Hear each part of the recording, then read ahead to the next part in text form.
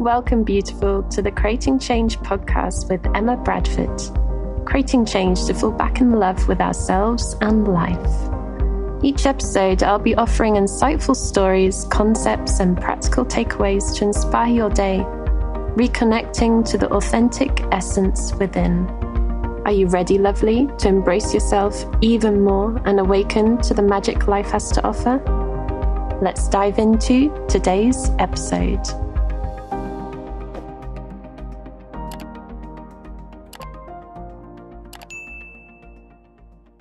Hello, and welcome to another episode of Creating Change with Emma Bradford. Thank you so much for being here and for being you. Thank you, thank you, thank you. Now, the unconscious mind is something that is super important, yet it's almost like this unknown.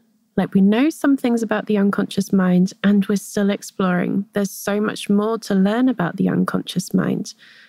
And in the general population, there's not really that much awareness in terms of how important the unconscious mind is.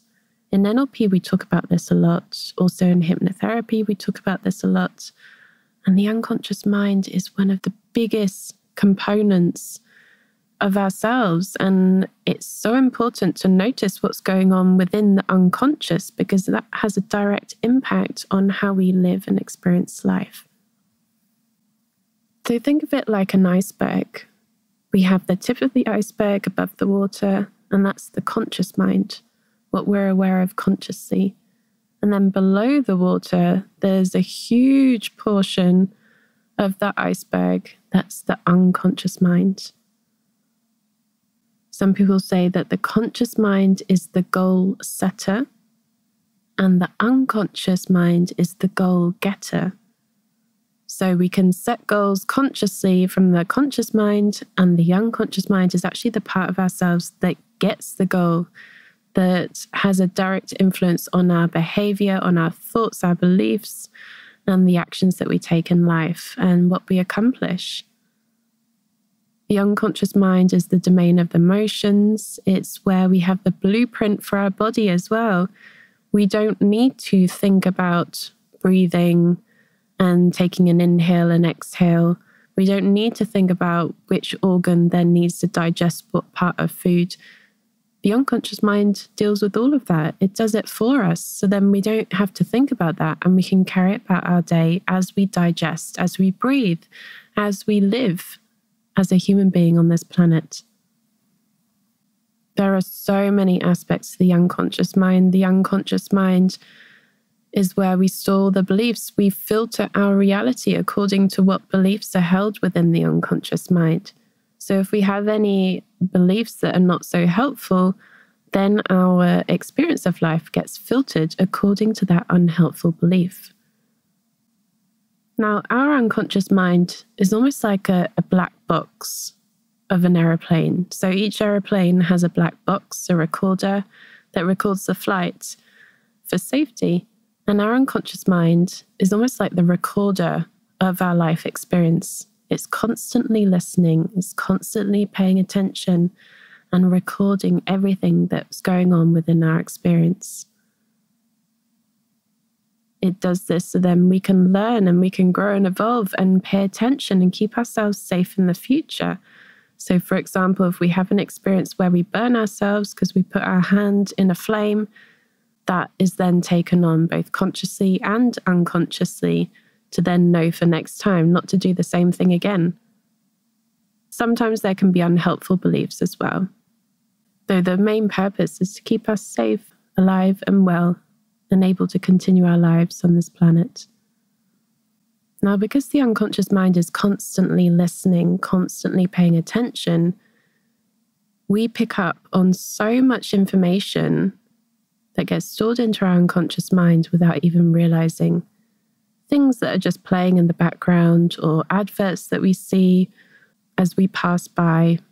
This constantly gets taken in and absorbed by our unconscious mind. So, this is why it's so important to surround ourselves with positive messages. If we're constantly surrounded by messages that are giving a message of fear, be careful, look out, and we're surrounded by that, or messages of you're not worthy or you're not beautiful enough. So I'm thinking of magazines, like teenage magazines, like young girls looking through magazines, and it's filled with lots of pictures of models. There can be this unconscious programming of I'm not beautiful enough, I'm not like them, I'm not going to be accepted, I'm not going to be loved. If there are constant messages of be careful, watch out, there can be this unconscious programming of fear. And fear can be a natural immune system suppressant, like it suppresses the immune system. So it's so important that we pay attention to what we're surrounding ourselves with. Now, there are two key times where the unconscious mind is extra sensitive to what's listening to. It's paying attention even more, and it's such an important time for reprogramming what we believe at an unconscious level. And this is when we're waking up and when we're just about to fall asleep. So, those two times are some of the key times when we can use that for our advantage. So, for example, we can listen to a hypnosis recording, we can listen to a guided visualization, we can listen to affirmations in those moments and create an even bigger impact. This is why I record myself saying affirmations and I set that as my alarm clock. So the first thing I hear when I wake up is the sound of my own voice saying positive affirmations.